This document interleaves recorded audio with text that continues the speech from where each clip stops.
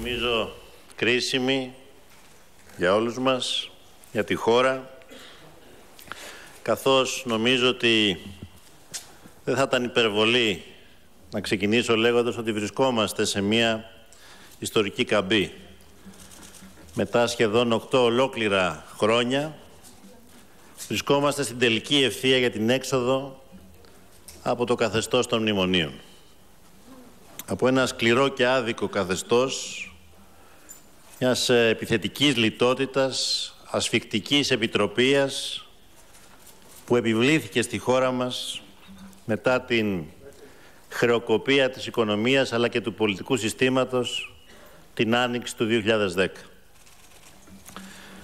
Και αυτή η πορεία την οποία διανύουμε, το γεγονός δηλαδή ότι βρισκόμαστε τελική ευθεία, επιτρέψτε να σας πω ότι δεν είναι μία καθόλου αυτονόητη και βεβαίως καθόλου ασήμαντη εξέλιξη.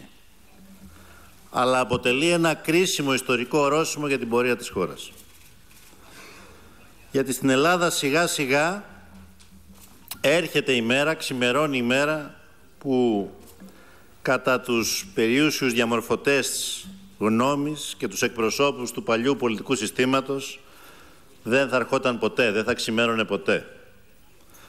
Η μέρα δηλαδή που η Ελλάδα θα επιστρέψει σε ένα καθεστώς κανονικότητας μέσα βεβαίως στο θεσμικό πλαίσιο της Ευρωπαϊκής Ένωσης και της Ευρωζώνης. Και αυτή η μέρα μπορεί τυπικά να έρθει σε περίπου 7 μήνες από σήμερα, όμως ήδη η προοπτική της είναι αυτή που καθορίζει την κοινωνική και πολιτική κατάσταση. Έχω επαναλάβει αρκετές φορές ότι η έξοδος από τα μνημόνια δεν θα είναι το τέλος της διαδρομής, αλλά ένας κρίσιμος, απαραίτητος και ιστορικός κόμβος. Η συνολική μας προσπάθεια όμως δεν αφορά μόνο το παρόν, αφορά και το μέλλον ένα μέλλον ευημερίας και δικαιοσύνης για την ε, κοινωνική πλειοψηφία, για τους ανθρώπους της. Σε αυτό το μέλλον προσβλέπουμε ως αριστερά. Αυτό το μέλλον επιδιώκουμε να χτίσουμε μαζί με τους ανθρώπους της εργασίας. Ναι, ήμασταν και εξακολουθούμε να είμαστε η αριστερά της μάχης, των αγώνων, των κινημάτων, των ιδεών, των οραμάτων, Αποδεικνύουμε όμως τις δύσκολες συνθήκες που κληθήκαμε να αναλάβουμε τις ευθύνες της διακυβέρνησης, ότι δεν είμαστε μόνο αυτή η αριστερά, αλλά ταυτόχρονα και η αριστερά της ευθύνης, η παράταξη που στις δύσκολες εθνικές στιγμές δεν διστάζει, με όποιο κόστος, να βάζει πρώτα την πατρίδα, να βάζει πρώτα το συλλογικό συμφέρον το συμφέρον της κοινωνικής πλειοψηφίας. Σήμερα που είναι ορατό, λοιπόν, το τέλος ενός δύσκολου ιστορικού κύκλου που ξεκίνησε το 2010, κάνοντας έναν απολογισμό όσων συνετελέστηκαν την τελευταία τριετία, επιτρέψτε μου να σταθώ σε ορισμένα συμπεράσματα. Συμπεράσματα που αφορούν το πώς τελικά φτάσαμε να βρισκόμαστε ένα βήμα πριν από το τέλος του τούνελ. Το πρώτο συμπέρασμα είναι ότι αποδείχτηκε η δεδομένη αδυναμία ή ακόμα χειρότερα η απροθυμία των κομμάτων που κυβέρνησαν για χρόνια τη χώρα και την έσυρα στην κρίση να βγάλουν τη χώρα από την κρίση. Και αυτό διότι ο πυρήνας των μνημονιακών πολιτικών, ειδικότερα των δύο πρώτων προγραμμάτων, που ήταν και τα πλέον επώδυνα, αντανακλούσε τις πολιτικές τους επιδιώξεις και μεγάλο μέρος του πολιτικού τους προγράμματος. Η απορρίθμιση της αγοράς εργασίας, η φοροασυλία του μεγάλου πλούτου, η κατάρρευση των μισθών, η υποβάθμιση της δημόσιας υγείας, η συρρήκνωση των πόρων για την παιδεία. Δεν χρειαζόταν ξένο χέρι για να γίνουν πράξη όλα αυτά στην Ελλάδα. Ήταν ήδη εδώ, ήταν συμπεφωνημένη και εφαρμοζόμενη πολιτική και από τα δύο κόμματα που κυβέρνησαν τον τόπο μέχρι και το τέλος του 2014. Όσο και αν κρύφτηκαν πίσω από τις ακρότητες πολλές φορές των δανειστών, δεν μπορούν να κρύψουν ούτε μια στιγμή την πολιτική και ιδεολογική τους ταύτιση με το νεοφιλελεύθερο σοκ της περίοδου 2010-2014. Το σοκ των 65 ε, δισεκατομμυρίων λιτότητας και της απώλειας σε πολύ σύντομο χρονικό διάστημα περίπου του 25% του ακαθάριστου εγχώριου προϊόντος της χώρας. Το δεύτερο συμπέρασμα είναι ότι η περίοδος, είναι ότι η έξοδος από την κρίση, και θέλω να είμαστε ειλικρινεί σε αυτό, γιατί όσο πιο ειλικρινεί είμαστε, όσο πιο καθαρές κουβέντες λέμε, τόσο περισσότερο θα μπορούμε να πείθουμε τον κόσμο που μας ακολουθεί για την αξία να παλέψει μαζί μας. Το δεύτερο λοιπόν συμπέρασμα είναι ότι η έξοδος από την κρίση όσο και αν θα θέλαμε δεν συμβολοποιείται σε μια ημερομηνία λήξης. Χρειάζεται μια συντεταγμένη σκληρή προσπάθεια με διαρκείς μάχες και διαρκείς τομές προς άλλη κατεύθυνση από αυτήν της τιμωρητικής λιτότητας για να μπορέσεις να φτάσεις στο τέλος αυτής της πορείας. Και η απόδειξη είναι απλή. Να συγκρίνουμε λοιπόν ε, γιατί αξίζει τον κόπο το που βρισκόμαστε σήμερα και τι παρουσίαζε ως τέλος της κρίσης και των μνημονίων η κυβέρνηση των κυρίων Σαμαρά και Βενιζέλου που τότε προσπάθησε με διάφορα κόλπα ενόψει και των εκλογών που ερχόντουσαν το 2014 να πει στην κοινωνία ότι τελειώνουν τα μνημόνια. Και την ίδια ώρα που πουλάγε το success story λες και πουλάγε καθρεφτάκια σε, εισαγενείς, σε ηθαγενείς, η χώρα ολοένα και περισσότερο γονάτιζε. Η πέμπτη αξιολόγηση γινόταν σπαμ στα mail τεχνοκρατών και υπουργών. Η δεύτερη απόπειρα εξόδου στις αγορές είχε αποτύχει παταγωδός. Βαδίζαμε αισίως στην πέμπτη συναπτή χρονιά δημοσιονομικού εκτροχιασμού, η συνολική ανεργία πλησίαζε, ξεπέρναγε τότε το 27%, 65% στους νέους. Η ελαστική απασχόληση άγγιζε το 65%, οι δομές του κοινωνικού κράτους παρέπεαν και την ίδια στιγμή υπήρχαν ήδη ψηφισμένα, συμφωνημένα πλεονάσματα 4,5% και 4,2% αργότερα μέχρι το 2018 και αργότερα. Τι διαφορετικό συνέβη λοιπόν σε σχέση με εκείνη την περίοδο, τι διαφορετικό συμβαίνει σε σχέση με εκείνη την περίοδο σήμερα; Πρώτα απ' όλα έφυγαν μετά από σκληρή μάχη οι ασύλληκτες εκείνες δεσμεύσεις για τα πλεονάσματα του 4,5% που θα κόστιζαν επιπλέον στην ελληνική κοινωνία και στο ελληνικό λαό 20 δισεκατομμύρια σε μέτρα μέσα στην τριετία που διανύουμε από το 2015 στο 2018. Και συμφωνήθηκε ένα πολύ πιο ήπιο πρόγραμμα δημοσιονομικής προσαρμογής με πολύ χαμηλότερους δημοσιονομικούς στόχους.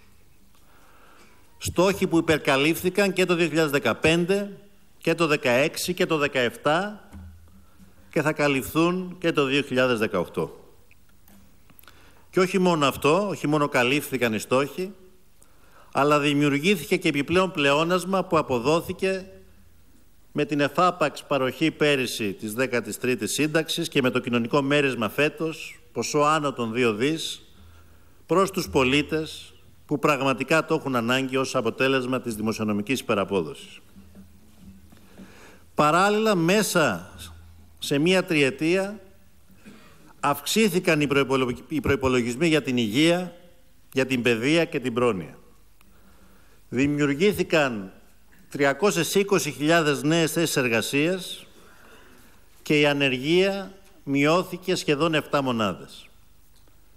Η χώρα επέστρεψε στις αγορές σε πρώτη φάση δοκιμαστικά, αλλά πλέον οι αποδόσεις των ομολόγων, των ομολόγων της δεκαετίας βρίσκονται σε επίπεδα πολλά χρόνια προ-κρίσης, 2006-2005.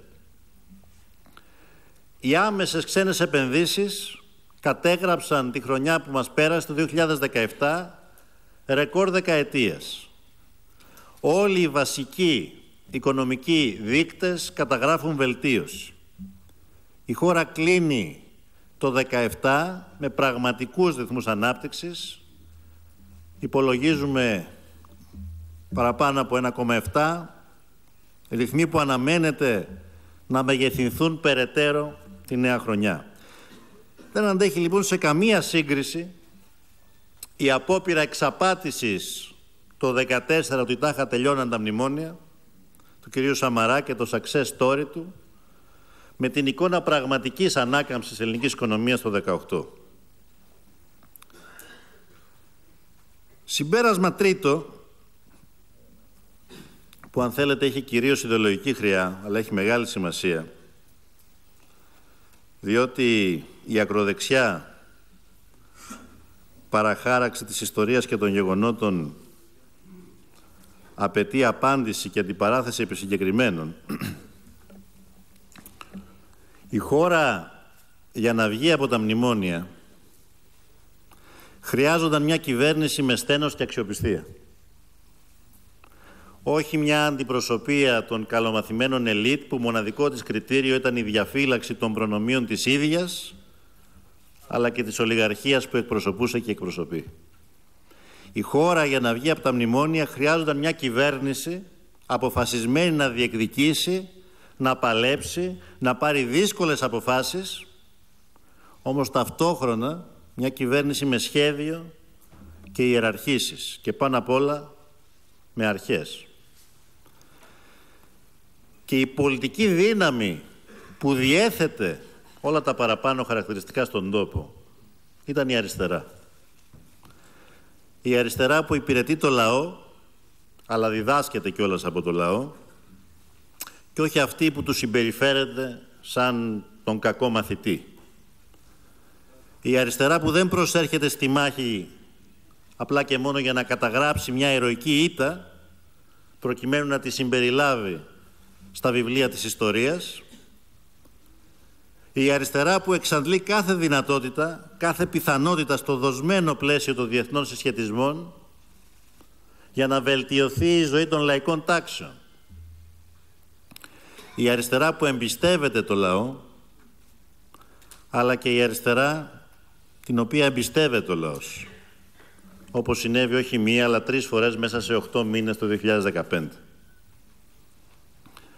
Και σήμερα οι επιλογές αυτές οι δύσκολες που κάναμε μέσα στο πεδίο της μάχης φαίνεται ότι δικαιώνονται. Μαζί τους δικαιώνονται και οι αποφάσεις που πήρε ο ελληνικός λαός. Και αποδεικνύεται περίτρανα ότι το τέλος αυτής της σκληρής περίοδου είχε τελικά ως προϋπόθεση για να συμβεί τη μεγάλη πολιτική αλλαγή του 2015. Ήταν τελικά προϋπόθεση για να το πούμε πλέον καθαρά, η παρουσία της αριστεράς στην διακυβέρνηση της χώρας για να έρθει επιτέλους το τέλος των μνημονίων.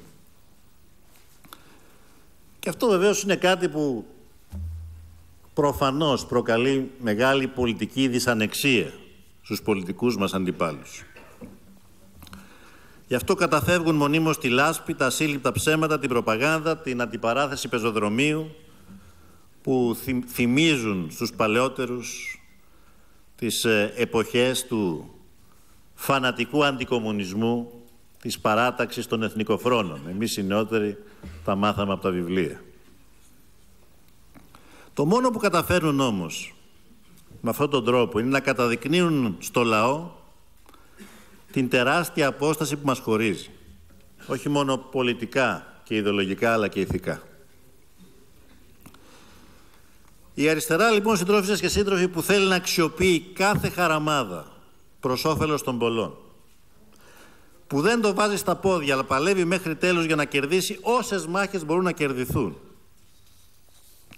είναι μια αριστερά που βεβαίως και δεν μπορεί να πορεύεται εκ του ασφαλούς. Παίρνει ρίσκα. Ούτε βέβαια, ούτε βέβαια μια αριστερά που έχει την πολυτέλεια να διστάζει να μπει στη φωτιά για να μην καεί, ιδίως σε κρίσιμες ιστορικές περιόδους. Και η τόλμη μας να μπούμε στη φωτιά, η αποφασιστικότητα να δώσουμε μάχες που οι περισσότεροι τις θεωρούσαν χαμένες, έχει παράξει ήδη σημαντικές νίκες, έχουμε αφήσει ήδη σημαντικό έργο σε κρίσιμους τομείς, που δεν αποτελεί μόνο τα διαπιστευτήριά μας για το παρόν, αλλά και την παρακαταθήκη μας για το μέλλον, για τη νέα εποχή. Η οικονομική ανάκαμψη που μίλησα πριν είναι αποτέλεσμα αυτής της σκληρής δουλειάς με απόλυτο σεβασμό στις θυσίες του ελληνικού λαού. Η απόλυτη προσήλωσή μας στον τομέα της δημόσιας υγείας και της πρόσβασης όλων των πολιτών ανεξαιρέτως εργασιακής κατάστασης, εισοδήματος, ακόμα και καταγωγής στις υπηρεσίες υγείας. Η ενίσχυση της δημόσιας παιδείας και η στήριξη του δημόσιου σχολείου παράλληλα με την συνέχιση των απαραίτητων προοδευτικών θεσμικών αλλαγών στην τριτοβάθμια εκπαίδευση. Η στήριξη του κόσμου της εργασίας. Επί των ημερών μας ενεργοποιήθηκε το Σώμα Επιθεώρησης Εργασίας και έχουμε ήδη σημαντικά αποτελέσματα την μείωση της αδήλωτης εργασίας από το 19% στο 12% στους τομείς υψηλής παραβατικότητας. Επί των ημερών μας θεσπίστηκε ο κανόνας να αποζημιώνονται πρώτα οι εργαζόμενοι και έπειτα οι υπόλοιποι πιστωτές όσων επιχειρήσεων επτόχευσαν. Επί των ημερών μας επανέρχεται η κανονικότητα των συλλογικών διαπραγματεύσεων με την επαναφορά των αρχών της επεκτασιμότητας και της ευνοϊκότερης ρύθμισης. Οι μικρές και μεγάλες θεσμικές τομές που μετατρέπουν τη χώρα σταδιακά ξανά σε ένα ευνομούμενο ευρωπαϊκό κράτος δικαίου. Αλλά και άλλες θεσμικές τομές, η απλή αναλογική, οι νομοθετικές παρεμβάσεις για τη διαφάνεια στις δημόσιες συμβάσεις και στα δημόσια έργα, η θέσπιση επιτέλους κανόνων στο άναρχο ραδιοτηλεοπτικό τοπίο όπου βασίλευε η ανομία και η προκλητική φοροασυλία ενός σαθρού μηντιακού κατεστημένου. Η υποχρεωτική καταβολή ποθενέσχες για όλους τους δημόσιους λειτουργούς. Το κτηματολόγιο και οι δασικοί χάρτες. Και ακόμα σημαντικές προοδευτικές μεταρρυθμίσεις και παρεμβάσεις στον τομέα των δικαιωμάτων. Ο νόμος για την ηθαγένεια, το σύμφωνο συμβίωσης για τα ομόφυλα ζευγάρια, η νομική κατοχήρωση της ταυτότητας φύλου, οι παρεμβάσεις για την αποσυμφόρηση των σοφρονιστικών ιδρυμάτων, η κατάργηση των φυλακών τύπου Γ. Όλες αυτές οι μικρές, μεγάλες μας νίκες αποτελούν ήδη τη δική μας παρακαταθήκη. Και άξιζε να τολμήσουμε, άξιζε να παλέψουμε και να τις κάνουμε πράξη. Παράλληλα όμως με τα παραπάνω που αλλάζουν προς το καλύτερο την εικόνα στο εσωτερικό. Υπάρχει και μια πολύ ουσιαστική προσπάθεια ανάκτησης του κύρους και της ε, ισχυρής γεωπολιτικής θέσης της χώρας που στα χρόνια της όξυνσης της οικονομικής κρίσης επλήγει σημαντικά. Και αυτή είναι, πιστεύω, μια προσπάθεια που έχει στεφθεί με απόλυτη επιτυχία. Διότι η αδράνεια και η παθητικότητα έχουν αντικατασταθεί με ένα νέο δόγμα, μια νέα αντίληψη για την εξωτερική πολιτική, με μια πολυδιάστατη, ενεργητική, φιλιρινική εξωτερική πολιτική. Με αποτέλεσμα η χώρα να είναι σε θέση να διατηρεί πλέον σχέσεις σεβασμού και συνεργασίας με τις ισχυρότερες χώρες του πλανήτη και παράλληλα να διαδραματίζει έναν καθοριστικό ρόλο στην ευρύτερη και κρίσιμη έθραυστη περιοχή μας. Η Ελλάδα αποτελεί σήμερα, και δεν είναι υπερβολή, πυλώνα ασφάλειας και σταθερότητας σε μια ευρύτερα αποσταθεροποιημένη περιοχή και καταφέρνει να διαμορφώνει σχέσεις εμπιστοσύνης, καλής γειτονίας και συνεργασίας σχεδόν με το σύνολο των γειτονικών χωρών. Αυτό φυσικά δεν σημαίνει υποχώρηση στα κρίσιμα εθνικά θέματα. Σημαίνει ακριβώς το αντίθετο. Ότι οι εθνικές θέσεις και τα κυριαρχικά μας δικαιώματα ισχυροποιούνται ακόμα περισσότερο όταν οι φίλοι και σύμμαχοι της χώρας πληθαίνουν και αντιλαμβάνονται πλήρως το ειδικό βάρος της χώρας. Αντιθέτως, η απομόνωση και τα εθνικιστικά παραλυρήματα το μόνο που κάνουν είναι να ζημιώνουν όποια χώρα της περιοχής τα επιλέγει για να ασκεί εξωτερική πολιτική βάση αυτών. Σε αυτό το πλαίσιο λοιπόν που ορίζεται από τον σημαντικά αναβαθμισμένο γεωπολιτικό ρόλο της χώρας αντιμετωπίζουμε με τη δέουσα σημασία όλα τα εθνικά μας ζητήματα. Και σε αυτό το σημείο επιτρέψτε μου μια ιδιαίτερη αναφορά στο πλέον κρίσιμο της περίοδου ζήτημα που αναφορά το νοματολογικό, την ε, διαφορά που υπάρχει με, την, ε, με τον βόρειο γείτονά μας. Η ελληνική θέση είναι σαφής και είναι θέση ευθύνης. Διεκδικούμε με αποφασιστικότητα όχι τη διαιώνιση του προβλήματος, αλλά την επίλυση του ζητήματος αυτού. Και επίλυση σημαίνει κοινά αποδεκτή, σύνθετη ονομασία έναντι όλων. Και είναι θετικό, εξαιρετικά θετικό το γεγονός, ότι μετά την πολιτική αλλαγή στη γείτονα χώρα, βλέπουμε εκεί μια κυβέρνηση που εμφανίζεται αποφασισμένη να κάνει βήματα. Μένει όμως αυτό να το δούμε στην πράξη. Στόχος μας είναι να βρούμε μια βιώσιμη λύση την οποία οφείλουμε να την αναζητήσουμε σε μια σύνθετη ονομασία αλλά και σε ένα ευρύτερο πλαίσιο συμφωνίας που δεν θα αφήνει στο μέλλον κανένα περιθώριο αλυτρωτισμού ή ανιστόρητων διεκδικήσεων. Σε κάθε περίπτωση πιστεύω ότι υπάρχει ένα παράθυρο ευκαιρίας ώστε να λυθεί οριστικά ένα ζήτημα που φορτώθηκε στη χώρα το 1992. Τότε που η κυβέρνηση του Κωνσταντίνου Μητσοτάκη αλλά και η χώρα είχε την μεγάλη ατυχία να έχει ως Υπουργό των Εξωτερικών τον κύριο Σαμαρά, ο οποίος προτίμησε να οικοδομήσει την προσωπική πολιτική του καριέρα παρά να συμβάλλει στην επίλυση του προβλήματος όπως όριζε το εθνικό συμφέρον, δηλαδή με τα μεγαλύτερα δυνατά ωφέλη για τη χώρα. Και σήμερα όμως υπάρχουν πάλι κάποιοι συνεχιστές αυτής της παράδοσης του κυρίου Σαμαρά, αρκετοί εξ αυτών στη Νέα Δημοκρατία, που προσπαθούν χωρίς επιχειρήματα να αγγίξουν ευαίσθητες χορδές, σηκώνοντας για άλλη μια φορά το λάβαρο της πατριοδοκαπηλείας.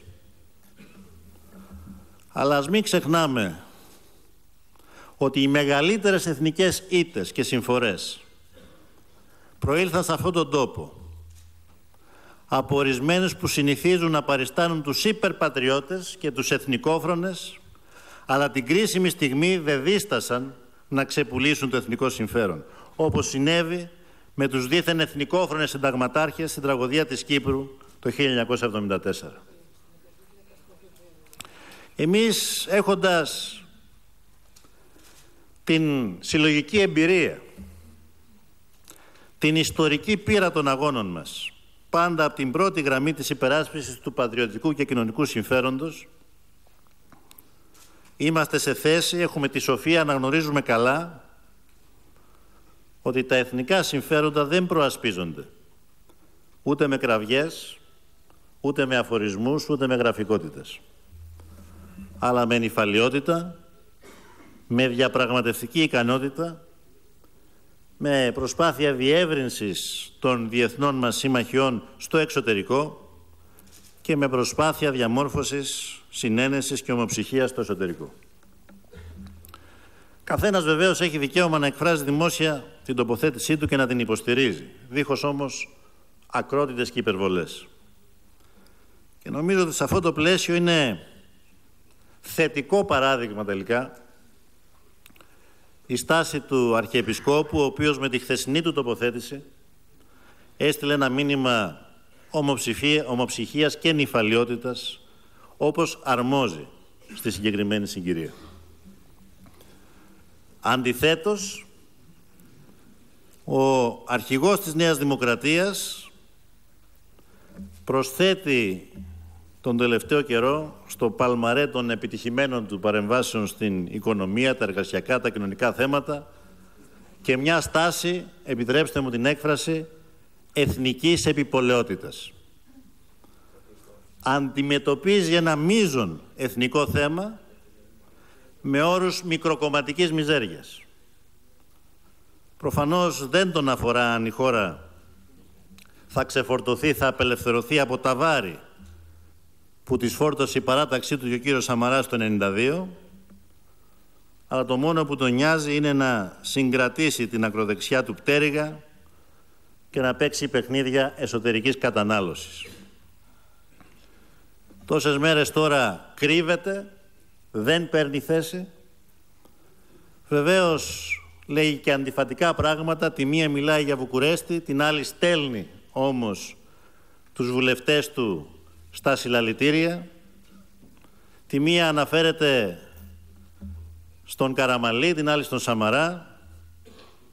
Την μία επενεί τη στάση του πατέρα του ως Πρωθυπουργού το 1992, την άλλη ακολουθεί τη στάση αυτού που ανέτρεψε τον πατέρα του λίγο μετά το 1992. Είναι πράγματι δύσκολο να παρακολουθήσει κανείς τις αντιφάσεις και τις μεταμορφώσεις του κ. Μητσοτάκη. Ένα ξέρω όμως, ότι σε τόσο κρίσιμα ζητήματα ουδής μπορεί να δοξαστεί κρυπτόμενος. Και ούτε ο κύριος Μητσοτάκης πρόκειται να δοξαστεί κρυπτόμενος. Το ονοματολογικό δεν είναι ένα ζήτημα εσωτερικής κατανάλωσης όπως ο ίδιος νομίζει για να συνεχίζει για πολύ να παίζει παιχνίδια. Θα υποχρεωθεί πολύ γρήγορα από την ίδια τη ζωή την εξέλιξη των πραγμάτων να πάρει θέση. Όσο δύσκολο κι αν είναι για αυτόν. Εμείς θα συνεχίσουμε με υπευθυνότητα να δουλεύουμε προκειμένου να πετύχουμε το καλύτερο δυνατό σε μια διαπραγμάτευση που αρχίζει τώρα με στόχο όχι να παίξουμε παιχνίδια αλλά με στόχο να λύσουμε ένα πρόβλημα που ταλανίζει τη ζωή, την πολιτική αλλά και το φέρει βαρέα εξωτερική μας πολιτική και διπλωματία πάνω από 25 χρόνια και πιστεύω ότι οι εξελίξεις θα μας δικαιώσουν. Συντρόφισσες και σύντροφοι, το 18 θα είναι μια χρονιά ορόσημο για τη χώρα. Γιατί κλείνει ο κύκλος των μνημονίων και γιατί ανοίγονται σημαντικές δυνατότητες ώστε να διαμορφωθεί το πλαίσιο της νέας εποχής, της μεταμνημονιακής εποχής. Θα ήθελα όμως από αυτό εδώ το βήμα να βάλω έτσι το ερώτημα προκειμένου να ξεκινήσει και μια ουσιαστική συζήτηση μεταξύ μας. Μετά το μνημόνιο τι; Θα προσπαθήσω να δώσω επιγραμματικά κάποιες απαντήσεις, περισσότερο για να ξεκινήσει ο προβληματισμός μεταξύ μας και να βρούμε τις συντεταγμένες. Πιστεύω ότι η δική μας απάντηση αφορά τρία σκέλη. Το πρώτο αφορά τον τομέα της παραγωγής. Το αυξημένο επενδυτικό ενδιαφέρον, η πρόσβαση ελληνικών επιχειρήσεων σε δανεισμό με ευνοϊκά επιτόκια, η αξιοποίηση των κονδυλίων του ΕΣΠΑ είναι μονάχα ορισμένες από τις προϋποθέσεις που κάνουν ορατή μια προοπτική δυναμικής ανάκαμψης της ελληνικής οικονομίας τα επόμενα χρόνια. Είναι όμως εξίσου σημαντική με την παραγωγή νέου πλούτου και η δίκαιη αναδιανομή του. Δεν πρέπει με λίγα λόγια να επαναληφθεί το έργο της περίοδου της ε, επέλασης του εξυγχρονισμού. Οι δείκτες να ευημερούν, μια κάστα εργολάβων και επιχειρηματιών να αποκομίζουν ασύλληπτα κέρδη και οι εργαζόμενοι να ζουν με καθυλωμένες αποδοχές και συνθήκες ζωής. Ο τρόπος λοιπόν για να έχουμε μια ανάπτυξη δίκαιη αλλά και βιώσιμη είναι τόσο ο αναπροσανατολισμός της παραγωγής στους τομείς που η χώρα διαθέτει συγκριτικά πλεονεκτήματα όσο και η πρόβλεψη για θέσεις σταθερής εργασίας με αξιοπρεπείς μισθούς. Οι επενδύσεις σε τομείς υψηλής προστιθέμενης αξίας θα δίνουν τις δυνατότητες νέας επανεπένδυσης με στόχο την βελτιστοποίηση του παραγόμενου προϊόντος και από την άλλη οι καλύτερες αμοιβέ θα συμπαρασύρουν θετικά και την ιδιωτική κατανάλωση. Μια διαδικασία δηλαδή η οποία πρακτικά θα καταλήγει στη διεύρυνση του κύκλου της οικονομίας ο οποίος συρρυκνώθηκε τα χρόνια της λιτότητας και της ύφεσης. Αν λοιπόν, αν λοιπόν το πρώτο σκέλος αφορά τον τομέα της παραγωγής, το δεύτερο σκέλος αφορά αυτό που εμείς ονομάζουμε κοινωνική δικαιοσύνη.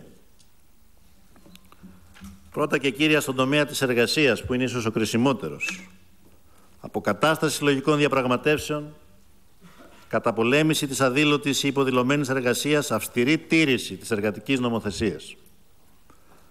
Όσοι χύνουν κροκοδίλια, κροκοδίλια δάκρυα για τους νέους και τις νέες που έφυγαν τα χρόνια της κρίσης, ξεχνούν ότι το βασικό επιχείρημα αυτών των ανθρώπων ήταν οι απελπιστικές εργασιακές συνθήκες και η υποαμοιβόμενη εργασία στην Ελλάδα. Για μας λοιπόν μεταμνημονιακή εποχή και έξοδος από την κρίση σημαίνει αποκατάσταση αυτής της πραγματικότητας.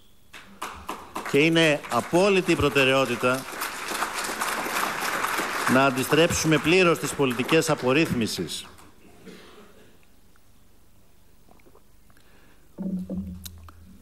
να αντιστρέψουμε τις πολιτικές απορρίθμισεις στην αγορά εργασίας ώστε να δοθεί δυνατότητα στους κατά κύριο λόγο νέους και νέες που διαθέτουν υψηλά επιστημονικά προσόντα να μπουν στην παραγωγή με τους καλύτερους όρους. Έπειτα στον τομέα του κοινωνικού κράτους.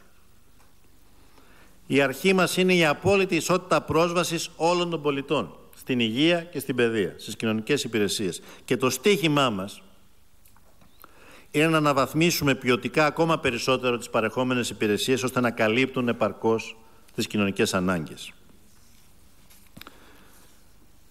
Πρώτο σκέλος λοιπόν παραγωγή, δεύτερο δικαιοσύνη κοινωνική, τρίτο σκέλος το ζήτημα της φορολογίας. Ήδη έχουν προβλεφθεί συγκεκριμένες ελαφρύνσεις από τα ήδη νομοθετημένα μέτρα, τα λεγόμενα αντίμετρα το 19 που περιλαμβάνονταν στη δεύτερη αξιολόγηση. Όμως, σίγουρα δεν μπορούμε να μείνουμε εκεί. Δεν υπάρχει αμφιβολία ότι προκειμένου να μπορέσουμε να ακολουθήσουμε τους όρους αυτής της δημοσιονομικής προσαρμογής, έστω της ήπιας, και δεδομένου του γεγονότος ότι στη χώρα μας ήταν πολλοί και πολλές αυτοί που χρεοκόπησαν τις επιχειρήσεις τους και βγάλαν τα λεφτά τους έξω, πολλοί και πολλές αυτοί που φτιάξαν offshore εταιρείες και απέφευγαν διαχρονικά και ίσως και συνεχίζουν κάποιοι τη φορολογία, υπήρξε επιβάρυνση μεγάλη της λεγόμενης μεσαίας τάξης. Είναι λοιπόν στις προτεραιότητές μας να εξετάσουμε τρόπους ώστε η αναπτυξιακή δυναμική της ελληνικής οικονομίας που δεδομένα θα έχει θετική επίπτωση και στα προσδοκόμενα έσοδα, να αποτυπωθεί και σε μια σειρά θετικών παρεμβάσεων στο φορολογικό, στοχευμένες όμως κυρίως στα μεσαία και χαμηλά στρώματα που το έχουν πραγματικά ανάγκη. Και επιτρέψτε μου, είπα για τρία σκέλη, επιτρέψτε μου να μιλήσω και για ένα τέταρτο σκέλος, της μεταμνημονιακής περίοδου, της μεταμνημονιακής εποχής, που όμως έχει αρχίσει ήδη, έχει αρχίσει ήδη να αποτελεί βασικό στοιχείο της πολιτικής μας από την πρώτη στιγμή που αναλάβαμε. Δεν έχει να κάνει αμυγός ή άμεσα με την οικονομία, αλλά ίσως έμεσα με αυτήν και είναι το διαρκές μας μέτωπο με τη διαπλοκή και τη διαφθορά. Η χώρα δεν μπορεί να προχωρήσει αν κάποιοι είναι υπεράνω του νόμου και των συνεπειών του. Πολλοί βεβαίως έχασαν τον ύπνο τους από τη μέρα που αναλάβαμε τη διακυβέρνηση και δεσμευθήκαμε ότι θα αναδείξουμε μια σειρά από υποθέσεις και προχωρήσαμε και σε εξεταστικές επιτροπές και βεβαίως νομίζω ότι η πορεία των πραγμάτων για πολλούς από αυτούς επαλήθευσε αυτούς τους φόβους. Είναι σαφές ότι το σύστημα της μίζας, των ημετέρων, του λεγόμενου τριγώνου της διαπλοκής είχε φτάσει στα όρια του και είναι ηλίου φαϊνότερο ότι όσοι γνωρίζουν πως είναι εκτεθειμένοι έναντι του νόμου κάνουν ό,τι μπορούν, ακόμα και ετερόκλητες συμμαχίες, παίζουν τα ρέστα τους θα έλεγα, προκειμένου να αντιπολιτευθούν αυτή την κυβέρνηση που δεν ήταν, δεν είναι και μη γελιέστε, δεν θα γίνει ποτέ του χεριού τους.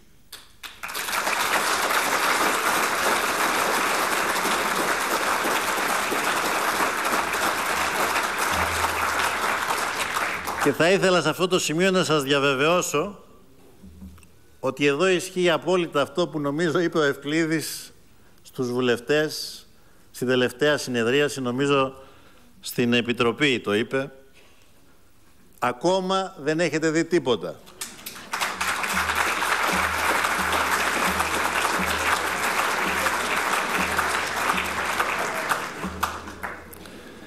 Είναι δεδομένο, συντρόφισσες και σύντροφοι,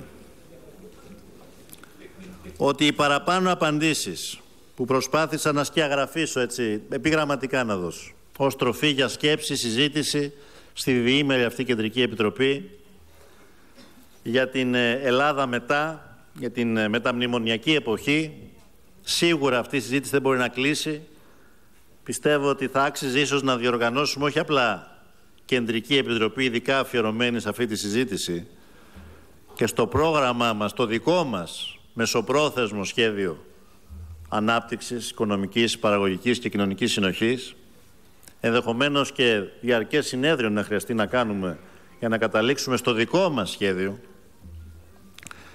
Είναι λοιπόν ε, δεδομένο όμως και από τις απαντήσεις που επιγραμματικά επαναλαμβάνω προσπάθησα να δώσω ότι οι δικοί μας άξονες είναι σε διαμετρική αντίθεση με τις απόψεις της αναχρονιστικής δεξιάς του κ. Μητσοτάκη μιας παράταξης που βλέπει καθημερινά να ιτώνται το ένα μετά το άλλο τα σχέδια αποσταθεροποίησης για να μην πιάνεις στο τέλος της ημέρας την πρωτοφανής προπαγάνδα καταστροφολογίας. Μιας παράταξης που κάθε μέρα που περνά αποδεικνύει τις τρεις βασικές όψεις της πολιτικής της ύπαρξης. Πρωτίστως, πρώτη όψη, αποδεικνύουν διαρκώς το πόσο κοινωνικά ανάλγητη είναι. Ας αφήσω τις αναχρονιστικές, τις ανατριχιαστικές παραδοχές περί φυσικής νομοτέλειας των κοινωνικών ανισοτήτων και ας πάω μονάχα στα πρόσφατα. Στην καταψήφιση της ρύθμισης προπού, προχθές στη Βουλή που προβλέπει ότι οι εργαζόμενοι θα πρέπει να αποζημιώνονται πρώτα έναντι των υπολείπων πιστωτών σε περιπτώσεις πτώχευσης. Όχι, αυτό δεν είναι για χειροκρότημα μάλλον. Πράγματι, πράγματι είναι απορίας άξιο είναι απορίας άξιο το θάρρος βεβαίως που έχουν οι άνθρωποι να αποδεικνύουν διαρκώς και με κάθε ευκαιρία το πόσο κοινωνικά ανάλγητη είναι. Και σαν να μην έφθαινε αυτό, ναι, είναι από τη μια άποψη θάρρος διότι δεν κρύβουν το αληθινό τους πρόσωπο, από την άλλη είναι και θράσος διότι απευθύνονται σε εργαζόμενους, σε ανθρώπους που τα τελευταία χρόνια, τα χρόνια της κρίσης έχουν πληγεί και βεβαίως το λιγότερο που θα μπορούσε να κάνει κανείς, ιδιαίτερα σε εργαζόμενους σε επιχειρήσεις που κινδυνεύουν, είναι να καταψηφίζει μια τέτοια ρύθμιση. Και σαν να μην έφτανε αυτό, το ίδιο βράδυ μας ανακοίνωσαν και μια πρόταση, καταψηφίζοντας βεβαίως από τη δική τους οπτική γωνία το θέμα της απεργίας, μια πρόταση για την ουσιαστική κατάργηση της απεργίας. Υπερασπιζόμενοι μέχρι κεραίας τα επιχειρήματα του Διεθνούς Νομισματικού Ταμείου έτσι όπως αυτά παρουσιάστηκαν στο τραπέζι της διαπραγμάτευσης και με πολύ σκληρή μάχη απορρίφθησαν, αλλά βεβαίως σε μεγάλο βαθμό και τα επιχειρήματα που και εδώ στην Ελλάδα ο Σύνδεσμος Ελλήνων Βιομηχάνων κατά καιρούς, αλλά και άλλοι έχουν ε, αναδείξει. Η πρώτη όψη λοιπόν είναι η κοινωνική αναλγησία. Η δεύτερη όψη είναι ο πολιτικός τους τυχοδιοκτισμός. Αφού συντάχθηκαν σε κάθε φάση των διαπραγματεύσεων με τις πλέον ακραίες φωνές των δανειστών, αφού πήγαιναν επισκέψεις στις Βρυξέλλες και στο Βερολίνο, προκειμένου να συκοφαντήσουν την ελληνική κυβέρνηση στους αξιωματούχους της Ευρωπαϊκής Ένωσης. Θυμάστε πέρυσι όταν δώσαμε το μέρισμα, το καταψηφίσαν και στη Βουλή, από το Βερολίνο μάλιστα, συναντώντας τον κύριο Σόιμπλε. Αφού έστειλαν ανθρώπους του περιβάλλοντός τους να μιλήσουν σε επενδυτές προκειμένου να τους αποτρέψουν να επενδύσουν στη χώρα διότι τάχα μου δεν θα έκλεινε η τρίτη αξιολόγηση και θα βρισκόμασταν ξανά σε μια ένα διαπραγμάτευση και στην καταστροφή έτσι έλεγαν. Τώρα, αφού πια πίστηκαν μάλλον ότι δεν πέφτει η κυβέρνηση και δεν καταστρέφεται η οικονομία, προσδοκούν αυτό να συμβεί όχι μέσα από την αποτυχία των διαπραγματεύσεων με τους πιστωτές, αλλά μέσα από την ε, διαχείριση ενός εθνικού θέματος, αναφέρθηκα πριν, στο θέμα το ονοματολογικό. Και αρνούνται να συνταχθούν με την εθνική θέση και στάση της κυβέρνησης και αρνούνται να πάρουν θέση. Ο πιο ακραίος πολιτικός τυχοδιοκτισμός και ο πιο ανεύθυνος εθνικά πολιτικός τυχοδιοκτισμός. Και το τρίτο τους βασικό χαρακτηριστικό είναι το ηθικό τους μειονέκτημα. Τα χαμένα αποθενέσχες, οι offshore στους φορολογικούς παραδείσους, τα δανεικά του κήρυκα δανείων ή χανίων, τα δωράκια της Siemens και φυσικά ο άνθρωπος που λόγω της επάρα του αριστεράς δεν πρόλαβε δυστυχώς να δώσει το όνομά του σε κάποιον δρόμο προς τιμήν του, αυτός που θα έπρεπε να είχαμε άλλους δέκα σαν και αυτόν, ο κύριος Παπασταύρου, που καταγγέλει την πολιτική του δίωξη. Η Νέα Δημοκρατία λοιπόν έχει σοβαρό πρόβλημα που η χώρα βγαίνει από τα μνημόνια. Ακριβώς διότι δεν μπορεί τώρα πια να κρύψει αυτά τα τρία βασικά χαρακτηριστικά, αυτές τις τρεις βασικές όψεις της πολιτικής της ύπαρξης. Τον πολιτικό τυχοδιοκτισμό, την κοινωνική αναλγησία και το ηθικό μειονέκτημα. Και επιτρέψτε μου να πω ότι αυτός είναι και ο βασικός λόγος για τον οποίο δεν χαίρεται καθόλου που τα καταφέρνουμε. Δεν χαίρεται καθόλου που βγαίνουμε από τα μνημόνια. Αλλά επιτρέψτε μου επίσης να πω ότι δεν είναι μόνο η Νέα Δημοκρατία. Υπάρχουν και άλλοι μαθημένοι στην προστασία και στην ασυλία που τους παρήχε το παλιό πολιτικό σύστημα που αγχώνονται. Και ξέρετε, δεν κατοικούν ούτε στις Βρυξέλλες ούτε στο Βερολίνο. Δεν είναι εκεί λοιπόν αυτοί οι οποίοι σχεδιάζουν μοχθηρά σχέδια για να μην τα καταφέρουμε. Είναι εδώ, ζουν εδώ, μιλάνε άπτα στα ελληνικά αλλά κρύβονταν και αυτοί τόσο καιρό πίσω από τις απαιτήσεις των δανειστών. Όταν όμως οι δανειστές πάψουν να αποτελούν το άλοθη, τότε οι μάσκες θα πέσουν. Ας γνωρίζουν όμως όλοι τους ότι την προδιαγεγραμμένη πορεία εξόδου από τα μνημόνια πλέον δεν μπορεί να τη διακόψει κανένας, όσο και αν προσδοκά. Όσα εμπόδια και αν ορθώσουν δεν είναι ικανά να σταματήσουν αυτή την πορεία. Και ας το βάλουν καλά στο μυαλό τους αυτό. Θέλω λοιπόν να κλείσω συντρόφισσες και σύντροφοι την εισηγητική μου παρέμβαση σε αυτή την Κεντρική Επιτροπή με μία αναφορά στη δική μας στρατηγική. Στη στρατηγική της αριστεράς στην Ελλάδα αλλά και στην Ευρώπη. Ο ΣΥΡΙΖΑ εδώ και 5,5 χρόνια αποτελεί τη μεγαλύτερη αριστερή δύναμη σε ολόκληρη την Ευρωπαϊκή Ένωση. Σημείο αναφοράς θα έλεγα. Και είναι δεδομένο ότι η δική μας πορεία δίνει κατεξοχήν τον τόνο της αριστερής στρατηγικής σε επίπεδο Ευρώπης.